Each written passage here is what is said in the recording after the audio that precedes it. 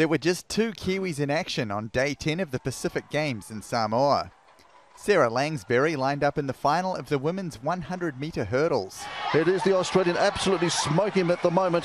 PNG in second place, and then comes New Caledonia. It's Australia one. Brianna Beahan has done it. Monagi getting up into second place, and uh, from New Caledonia in third.